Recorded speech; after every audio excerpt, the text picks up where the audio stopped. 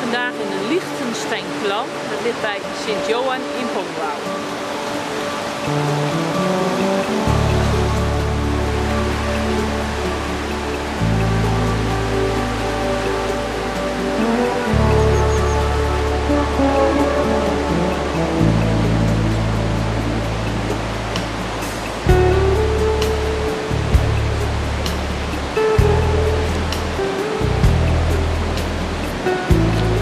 Moet Bobby gedragen worden?